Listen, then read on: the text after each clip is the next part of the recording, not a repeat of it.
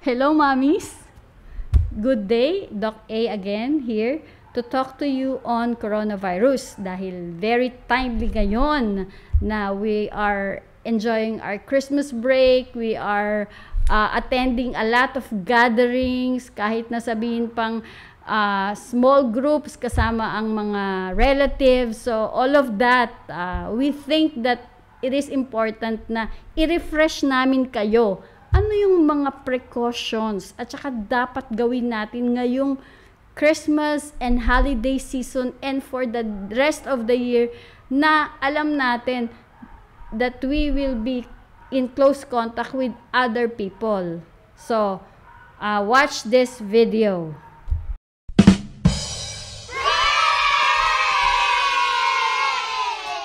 Good day, parents. Again, I'm here, Dr. A, to talk to you about coronavirus.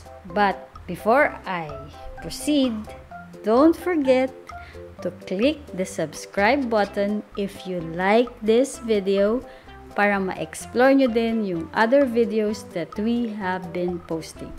Hope to help. Ano ba yung coronavirus? Coronavirus na kinakatakutan ng lahat because of its spread. Eh, paano ba nakukuha yung coronavirus? So, basically, yung mga naririnig nyo sa social media, nakukuha to dun sa talsik ng laway ng isang taong positive sa coronavirus. Sometimes symptomatic, sometimes asymptomatic. Kung ikaw ay may expose sa isang confirmed case for more than 15 minutes, tapos yung distance mo sa kanya is less than 1 meter, you are considered close contact. And saan pwede mangyari to? Pwede sa bahay natin, kung meron tayong isang pasyenteng positive sa coronavirus. Pwede sa pinuntahan natin na gym, na uh, place of worship, or kahit sa labas lang na medyo enclosed yung space. So, any of, of that pwede nating makuha yung coronavirus. Karaniwan, ang symptoms niya magkaiba sa adult at sa bata. And makikita po natin na sa bata, mas milder po siya. Kasi din po, ang bata, mas less express yung kanilang inflammatory cells to react dun sa virus compared sa adult. At saka kasi din po yung mga bata, usually mas mababa ang viral load nila kasi nga palagi naman sila sa bahay. Unlike us adults, we really go out, go to work, uh, sumasakay tayo sa mga public transport, pumupunta tayo sa public places. So all of that, pwede pong maging risk natin to get the virus. At dahil po sa pag-aaral, nalaman nila na yung coronavirus pwedeng magstay at least for one day dun sa mga cloth na ginagamit natin na mask or cloth. Kung nahulog naman siya sa glass, pwede siyang maging uh, maka-infect pa rin for 2 days. Kung sa mga surfaces naman na metal, pwede hanggang 7 days. So, depende kung saan siya nalaglag, pwede siyang maging viable at makuha pa rin natin. Kaya importante po, isang precaution na, na ine-explain ko sa mga parents is clean all surfaces. Pwede po tayong gumamit ng household bleach.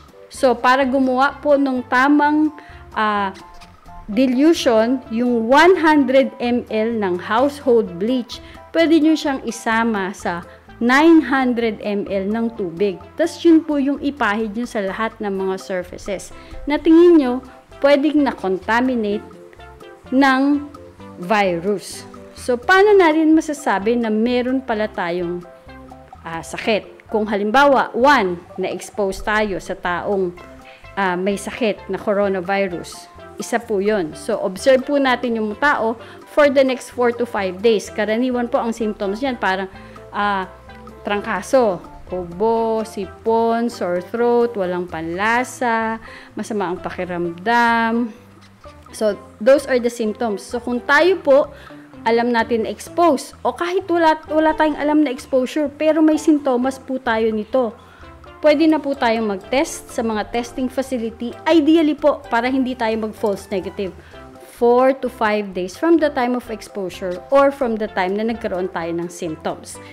RT-PCR po ang tinatawag na gold standard. Yung sinaswab po, pwede pong gawin sa ilong o doon sa mga hindi kayang gawin sa ilong. Pwede ko kasi sa mouth yun eh. So, pwede maging saliva yung kanyang specimen. Yun pong antibody testing is ideal na ginagawa 2 weeks from the time of symptoms or exposure para maging reliable po. Kasi kung hindi natin magagawa yung mga test at the proper designated time, baka mag-false negative po siya meron din po kaming naririnig na yung RT-PCR positive pa rin po kahit wala ng symptoms after a month. Possible din po yun. Kasi nga, very uh, sensitive yung test for virus component. So kung may, may virus component pa kayo or protein uh, referable to coronavirus dun sa kalangala or sa ilong, pwede pa rin po siyang mag-positive kahit na asymptomatic na po tayo. Kung mapapansin po natin, uh, ang mga tao ngayon uh, very uh, cautious sa mga uh, kinakain, sa mga iniinom, dahil gusto niyang uh, i-increase yung immune system. Yes, I would suggest to take uh, proper sleep, proper balanced diet, exercise, and pwede pong mag-supplement ng mga vitamins and minerals to, to really boost the immune system. Pero importante pa rin po yung proper social distancing, wearing of mask, especially if you're in private, uh, in public places. Pero kung yun nga po, meron po kayong isang tao sa bahay na talagang positive, importante po siyang isolate and i-treat. Kung mild lang po ang symptoms, pwede po siya sa bahay. Pero kailangan po siya sa kwarto, Huwag pong lumabas doon, dalan lang ng pagkain. At mas maganda po kung meron siyang sariling bathroom or palikuran doon para yung pong kanyang uh, uh, excreta or yung mga nilalabas niya ay hindi maka-expose sa ibang tao. Kasi pati ho yung ating nilalabas na dumi, uh, lumalabas din po yun yung virus. So, pwede pong maging source of infection. Although ang talagang mode po ng infection ay yung droplet infection, yung talsik ng ubo, ng sipon ng isang tao na mayroong coronavirus. Uh, may mga tanong po regarding VCO, yung ganun pong mga supplements, pwede naman pong i-take. Yung first 5 uh, ah, days of infection, karaniwan po iyan, uh, parang may ubo, sipon. So, yung usual na, kung may fever, pwede kayo mag-take ng paracetamol, pwede kayo mag-take ng mga uh, cough or cold medicine, kahit na po may coronavirus. So, basically, the first 5 days of infection is mostly supportive lang po ang treatment. Babantayan lang po itong mga tao na to kasi kung halimbawa on the second week, on the 8th day or or earlier pa, magkaroon sila ng hirap ng paghinga, mas lumalala yung ubo, baka kailangan na rin po natin silang dalhin sa ospital at hindi na po sila uh, kayang gamutin sa bahay. Importante po na during this time, kung nakakaramdam na po ng pagkahapo or mabigat ang paghinga, lalo na po sa mga may edad na, importante pong mag-seek na ng medical attention. Karaniwan po ang mga komplikasyon lumalabas po sa ganitong mga panahon kung ang symptoms ay nas more than a week na, like 8 to 9 days. Ito na po yung tinatawag na hyperresponsiveness, na yung mga tao na hirapan ng huminga, meron na pong symptoms ng tinatawag na acute respiratory syndrome. So, importante po na dali na sila sa mga tamang facilities para po sila uh, makaku- makakuha ng karampatang uh, medical care. So, importante is to isolate whether mild or asymptomatic cases. Uh, learn to distance yourself kahit na po kamag-anak natin sila, especially nowadays.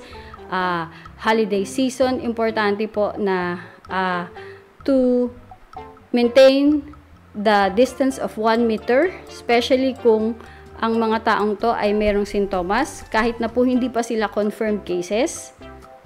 And uh, yun nga po, learn to clean the surroundings, use disinfectant solution as needed para po i-prevent natin infection.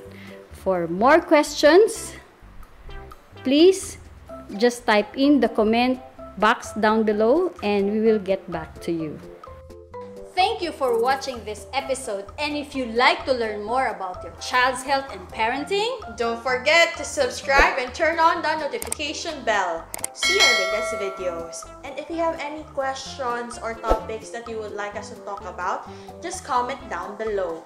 And remember, mothers knows best. but Pedja knows better. See you! See you!